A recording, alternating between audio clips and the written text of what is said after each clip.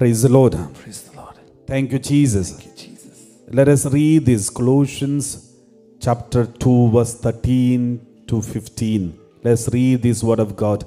Colossians chapter 3, chapter 2, verse 13 to 15. And when you were dead in trespasses and uncircumcision of your flesh, God made you alive together with Him when He forgave us all our trespasses. Verse 14 Erasing the record that stood against us with its legal demands, He set this aside, nailing it to the cross. Verse 15 He disarmed the rulers and authorities and made a public example of them, triumphing over them in it. Praise the Lord. Praise the Lord. Let's put together 13 and 14 together. The word of God says something. The word of God says, St. Paul spoke to the Colossians, when you were dead in trespasses and uncircumcision of your flesh. When we were dead in trespasses, everyone who commits sin is dead spiritually.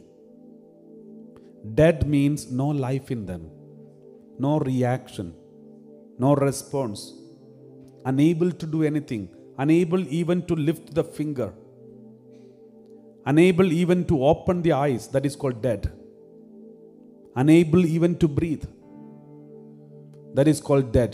Spiritually dead means though you're moving around physically, spiritually there is no power at all. God cannot intervene, no connection with God, no miracles, no healings, no deliverance, nothing. So that is why anybody who commits sin, especially these sins of the flesh, they are spiritually dead. Unless they repent and go for confession and reconcile with God and be holy.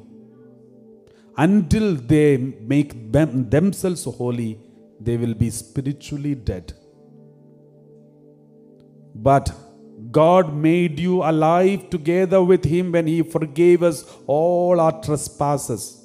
And He says, erasing the record that stood against us with its legal demands. That means an- anyone who commits sin, there is a record of our sins which will be against us with the legal demands. That means legal demands means the evil has authority on us when we commit sin. There is a legal demand from the part of the evil one on us when we commit sin. That's what happened to Moses. Moses, when Moses died, the devil demanded his body because there are some mistakes Moses committed when he was alive. Therefore, devil, Satan demanded his body because there is a legal demand. But what did Jesus do? Jesus erased the record that stood against us with its legal demands. Jesus, with his precious blood, erased it. And therefore, anyone you are united to who are united to Christ, there is no more evil has authority on you. He has, Jesus has erased the record our past sins, every consequence, even the legal demands of the evil one on us, everything will be erased.